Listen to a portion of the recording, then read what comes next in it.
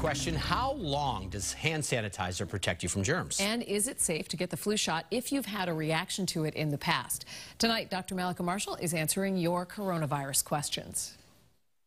David from Milford writes, after one uses hand sanitizer, how long does the protection last? Can you safely go into a store and not worry about picking up germs as you touch things? David, once hand sanitizer has dried on your hands, it's pretty much done its job. It's killed most of the germs that are on your hands. But as soon as you touch something that might be contaminated, like a doorknob or a dirty tissue, for example, your hands could get contaminated again. So you really do need to use sanitizer each and every time you think you may have touched something that could be soiled. We have another question from Antoinette who writes Is it safe to dine indoors seated across from someone you don't live with?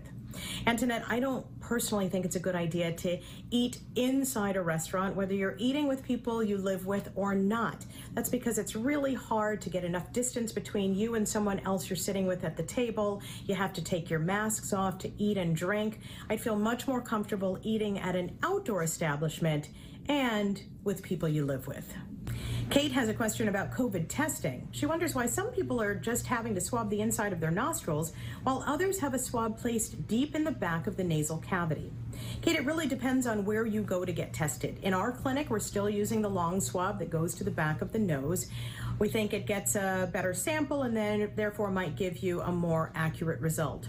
There are places that will actually give you a cotton swab to swirl or twirl around inside your nostrils. It's much more comfortable, it's less risky for the healthcare provider, but it may not give as accurate a result. We have another question from Wendy who writes The last and only flu shot I had was in the early 70s, and I spent the next 36 hours in the emergency room with a severe reaction. Should I get one now? I'm 73 with no underlying health issues.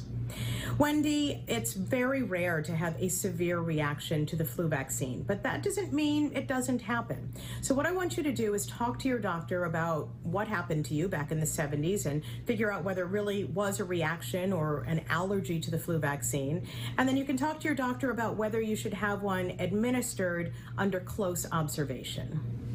Dr. Mallika offers her best advice, but as always, she says consult your personal doctor before making any decisions about your health. If you have a question for her, there are three ways you can reach her. Her email, drmallika at cbs.com, on Twitter, at Mallika Marshall, or you can Facebook message her, Dr. Mallika Marshall.